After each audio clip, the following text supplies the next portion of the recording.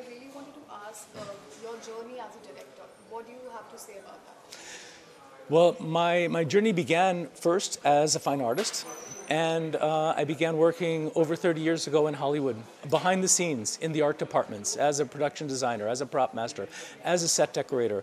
And while I did commercials, films, television shows, and while I was on the set, I was always curious. I was asking and watching and learning about lighting. I was learning about um, uh, the composition. I was learning about how to work and interact with actors um, and with the crew. And so my, my journey into becoming a film director was completely on the job learning. All right. I've, like I was going through your journey, and I've also seen that you won an Emmy Award for this uh, documentary called Willful Blindness. Um, the, the Emmy was for a television show for CBS in the very early part of my career. I was very fortunate. Uh, my first job was with Disney. And uh, after this, I was hired and brought onto a group that uh, created um, the design, the set decoration, the art direction for a cult classic TV show for children um, in 1988. And uh, we won an Emmy for, for this. And it actually, um, this program set, the, set a new bar, a, a, high bar, a new standard for, for TV sets um, in, in America. That's great. Also, let's come to your uh, documentary called Shuddhi. Um, mm-hmm. I've seen the trailer, it's really beautiful. I really Thank you. want to ask about this topic. Why did you choose this topic? Well, uh, the title Shuddhi uh, comes from. Um, 12 years ago, 13 years ago, I first came uh, to India um, with some students from Berlin. I teach at a university there. And uh, through the course, we were traveling, and we happened to be in Jodhpur. And in Jodhpur, uh, where I was staying, the, uh, the head of the, the B&B uh, said he was going to be giving some food to, to a leprosy ashram the next day. I said, well, can I go along? Um, so I was very curious. And uh, I went and I met the, the patients and I started talking with them and heard their stories and them saying that they'd been 30 to 50 years isolated from society and they'd been taking the medication so that they can be cured. And this was my first experience um, uh, with this, this topic. And I said, this is this is not okay. Something your story needs to be to be heard, and and I realized after doing more research about leprosy itself that since 1987 the MDT program has been out, and everyone has been um, signing on and getting uh, getting cured, but this generation of of patients that have the the severe emotional and physical disabilities will be the last generation um, that suffer in this way, and in talking with them they expressed that how they wouldn't wish this type of suffering on even their worst enemy. And I thought this was very selfless.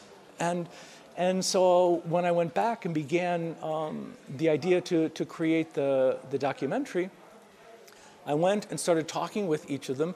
And the main character, Danji, um, said that he really loved praying at, at a temple and he would like to have a shuddhi, and so I found a, uh, a priest that would be able to perform the yagna and then the shuddhi uh, ceremony for us so that it was a document. We had seven cameras set up uh, so that we could document it as it happened. And this became part of um, uh, part of the film. And shuddhi, as we know, it means uh, a cleansed or purified state of being. And uh, for me, watching and seeing Danji uh, in his very, very I would say, selfless way, when he was praying at the temple in the last scenes, he's praying for all people. He's not just praying for himself, he's wishing goodwill on everyone. And I said, This is just amazing. You know, this man who has been isolated is thinking about all of humanity. And it really touched me. Also, I really wanted to ask um, since you're not from India, you have visited India quite often? Mm, six times. Yeah, six times. Um, how did you get attached to this uh, this whole topic initially? I mean, um, there were so many things in India were happening and in other cultures also, in America, everywhere. But why this? Well, for me as an artist, um, I think my subjects find me, okay? And I'm very intuitive in that I go about my life, and on my journey, something will capture my attention, Uh, I'm curious, so I, I, investigate and, and I will spontaneously go somewhere and, and, and, travel to this place or, or talk with this person that I, I, meet on the street and ask, you know, what is their life about? What is, you know, what's been going on for them? And then when I find something that really, it, it, again, it's intuitive, it touches my heart and soul. And meeting the, the patients at the ashram um, outside Jodhpur, they touched me in a way that months later, I was still thinking about them. And I was still thinking, what can I do? And that's why, as soon as I was able, um, I uh, began this project. That's great. Uh, so, uh, tell me about it. Like, what do you see? Uh, what India and German uh, are like similar? Is there any similarity you can see when it comes to movies, documentaries? Mm, the the movie culture of India and the movie culture of Germany is uh, is quite different, I think, I believe. Um, uh, there's a I don't know what to say with this question. I'm sorry. So I also want to. Is it going to disturb? I also want to ask: um, Have you ever seen any Indian documentary? The last year, like uh, we won an Oscar for. Uh, yes, of course. Yes, of course. The Elephant Whisperers, um, All That Breathes. Uh, this, they were beautiful. They were very touching, and this is also, this uh, was very inspiring to see, like especially with the Elephant Whisperers, the the touching um, uh, uh interaction between human and animal, you know, and the, these issues that uh, are, are more about our common humanity, um, about inclusion, um, about caring for the planet, about caring for each other. These are important to me, and the, the, these are what really struck me as being beautiful. Let's let's come to the culture part. Mm-hmm. Like, since you're not from here, mm-hmm. you've been here as, as you told me six times. Uh, like there, there is a huge cultural difference in India and Germany. And yes. Yes. How did you define that? Mm mm. Well, what I did, I knew that I, what I wanted to do was going to be something that I couldn't get away from the fact that I have a Western gaze. My eyes was all, my eye was always going to be Western. You know, there's no, no way of escaping that. But um, with my research assistant, we did six months of research so that I could be culturally uh, sensitive and respectful to both uh, to India and to um, to the people.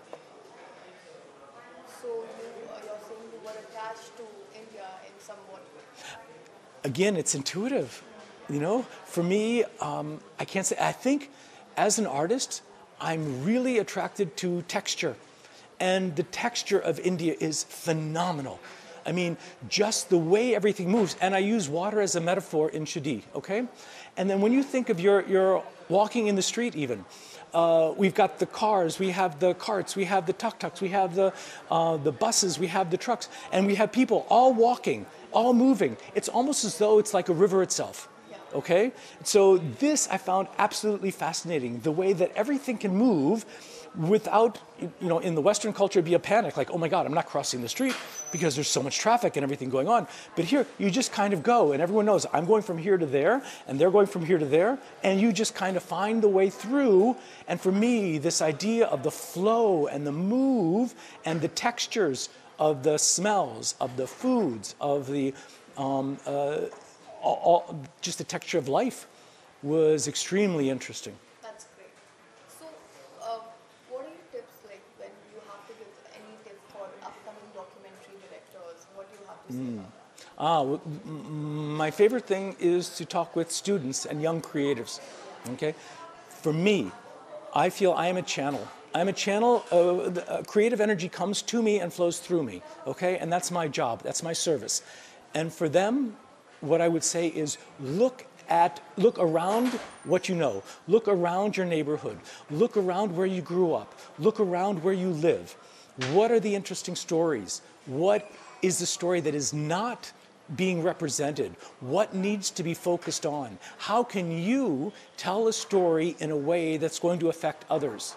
And how can you use an empathetic eye? Not an objective or subjective eye, but an empathetic eye. Come from the heart and the soul of your subject. So then you're pushing it out and giving it away. You're being of service to those that you're, you're uh, watching and looking at and reporting on and telling the story of. That's a great thought, I would say. Um, so, um, what do you like about India? What don't I like about India? I mean, oh my gosh. There's just so much. India, I, I, I, I really feel alive in India. I, I sincerely love the quality of the light. I mean, you can say that the, the smog or whatever, or the fog of, uh, in the atmosphere, but it really filters the light in a beautiful way and casts a, a golden glow on things in, in, uh, in the late afternoon. And I love the vibrancy of the people, and um, I love the music.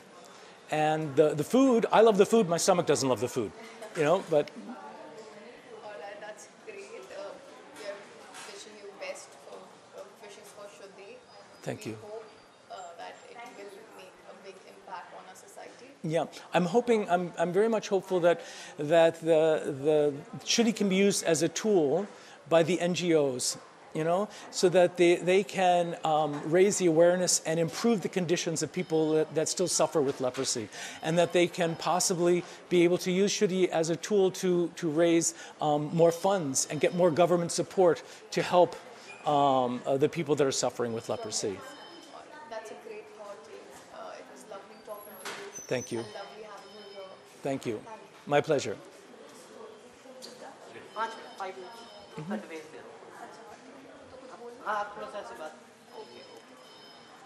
Oh, okay. I, I get excited. I, I, I get excited. I get excited. So when I get excited, I speak a little bit more loudly. Okay. If she gets me excited, maybe she won't get me excited, but it, you may get me excited. Okay. Yeah. Five, four, three, two, one. Yes, start. Hi, welcome to PTI. Ah, thank you, ma'am. Yeah. So, um, James, I really wanted to ask uh, your journey as a director. What do you have to say about that? Well, my, my journey began first as a fine artist, and uh, I began working over 30 years ago in Hollywood, behind the scenes in the art departments, as a production designer, as a prop master, as a set decorator. And while I did commercials, films, television shows, and while I was on the set, I was always curious. I was asking and watching and learning about lighting. I was learning about um, uh, the composition. I was learning about how to work and interact with actors um, and with the crew.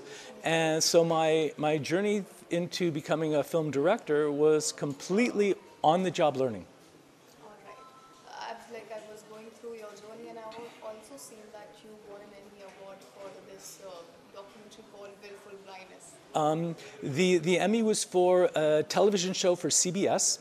In the very early part of my career, I was very fortunate. Uh, my first job was with Disney.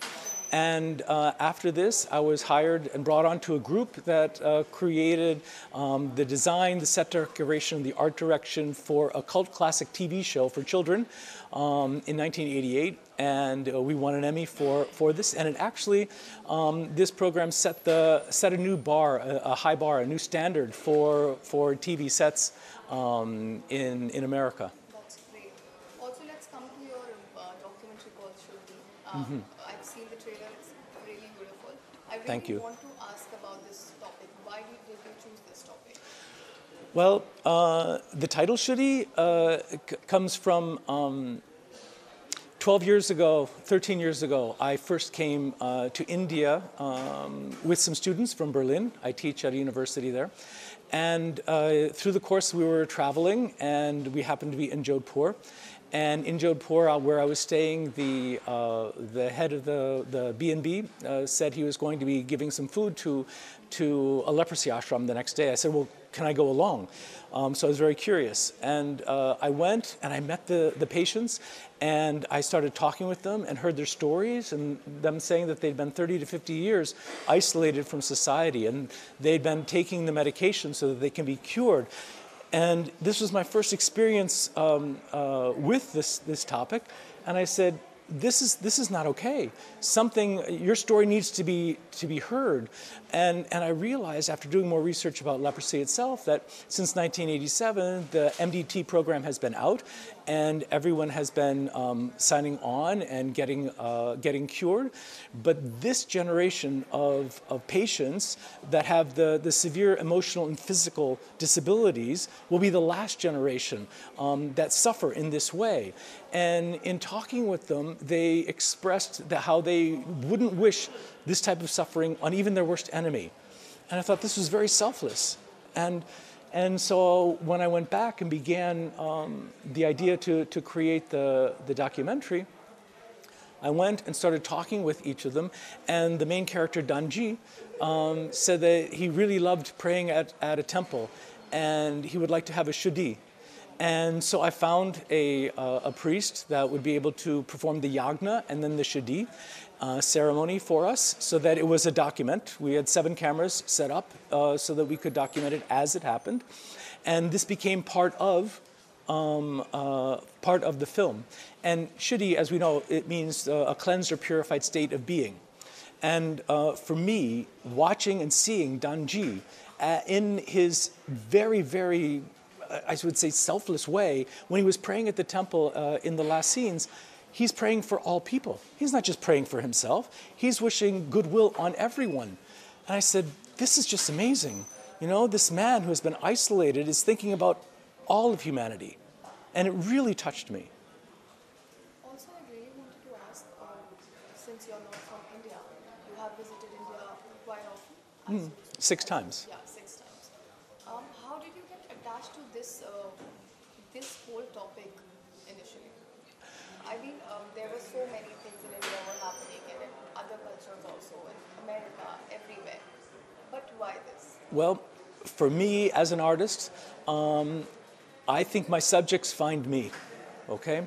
And I'm very intuitive in that I go about my life, and on my journey, something will capture my attention. Uh, I'm curious, so I, I, investigate and, and I will spontaneously go somewhere and, and, and, travel to this place or, or talk with this person that I, I meet on the street and ask, you know, what is their life about? What is, you know, what's been going on for them? And then when I find something that really, it, it, again, it's intuitive, it touches my heart and soul and meeting the, the patients at the ashram um, outside Jodhpur, they touched me in a way that months later, I was still thinking about them. And I was still thinking, what can I do? And that's why, as soon as I was able, um, I uh, began this project. That's great. Um, so, uh, tell me about it. Like, what do you see? Uh, what India and German uh, are like similar? Is there any similarity you can see when it comes to movies, documentaries? Mm, the the movie culture of India and the movie culture of Germany is uh, is quite different. I think, I believe. Um, uh, there's a. I don't know what to say with this question. I'm sorry. It's okay. So, I also want to. Is it going to disturb? I also want to ask um, Have you ever seen any Indian documentaries? The la- last year, we, like, uh, we won an Oscar for. Uh, Yes, of course. Yes, of course. The Elephant Whisperers, um, All That Breathes. Uh, this, they, were, they were beautiful. They were very touching, and this is also this uh, was very inspiring to see, like especially with the Elephant Whisperers, the the touching um, uh, uh, interaction between human and animal, you know, and the, these issues that uh, are, are more about our common humanity, um, about inclusion, um, about caring for the planet, about caring for each other. These are important to me, and the, the, these are what really struck me as being beautiful. Let's let's come to the culture part. Mm-hmm. Like, since you're not from here and you've been here, as, I, as you told me, six times. Uh, like there, there is a huge cultural difference in India and Germany. and Yes. where you come from. Yes. How did you define that Mm. in your uh, uh, document? Well, what I did, I knew that I, what I wanted to do was going to be something that I couldn't get away from the fact that I have a Western gaze. My eyes was all, my eye was always going to be Western. You know, there's no, no way of escaping that. But um, with my research assistant, we did six months of research so that I could be culturally uh, sensitive and respectful to both uh, to India and to um, to the people. So you, uh, you're saying you were attached to India in somewhat way. Again, it's intuitive. You know, for me, um, I can't say, I think as an artist, I'm really attracted to texture. And the texture of India is phenomenal. I mean, just the way everything moves. And I use water as a metaphor in Shuddhi, okay? And then when you think of your, your walking in the street, even, uh, we've got the cars, we have the carts, we have the tuk-tuks, we have the, uh, the buses, we have the trucks, and we have people all walking, all moving. It's almost as though it's like a river itself. Okay? So this I found absolutely fascinating, the way that everything can move without, you know, in the Western culture, be a panic, like, oh my God, I'm not crossing the street because there's so much traffic and everything going on. But here, you just kind of go, and everyone knows I'm going from here to there, and they're going from here to there, and you just kind of find the way through. And for me, this idea of the flow and the move and the textures of the smells, of the foods, of the um, uh, all, all, just the texture of life was extremely interesting. That's great. So, uh, what are your tips like when you have to give any tip for upcoming documentary directors? What do you have to say Hmm. about that? Ah, my favorite thing is to talk with students and young creatives. Okay, for me, I feel I am a channel. I'm a channel. Uh, the, uh, creative energy comes to me and flows through me. Okay, and that's my job. That's my service. And for them, what I would say is look at look around what you know. Look around your neighborhood. Look around where you grew up. Look around where you live. What are the interesting stories? What is the story that is not being represented? What needs to be focused on? How can you tell a story in a way that's going to affect others? And how can you use an empathetic eye? Not an objective or subjective eye, but an empathetic eye. Come from the heart and the soul of your subject. So then you're pushing it out and giving it away. You're being of service to those that you're, you're uh, watching and looking at and reporting on and telling the story of. That's a great thought, I would say. Um, so, um, what do you like about India? What don't I like about India? I mean, oh my gosh. There's just so much. India, I, I, I, I really feel alive in India. I, I sincerely love the quality of the light. I mean, you can say that uh, the smog or whatever, or the fog of, uh, in the atmosphere, but it really filters the light in a beautiful way and casts a, a golden glow on things in, in, uh, in the late afternoon. And I love the vibrancy of the people, and um, I love the music. And the, the food, I love the food, my stomach doesn't love the food, you know, but All right, that's great. Uh, we are wishing you best for uh, wishes for Shuddhi.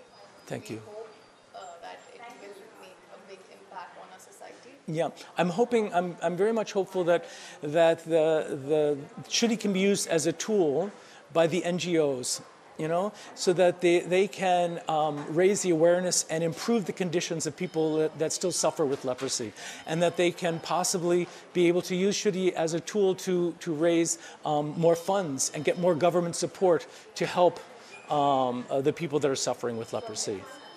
That's a great thought, Uh, it was lovely talking to you. Thank you. And lovely having you here. Thank you. My pleasure.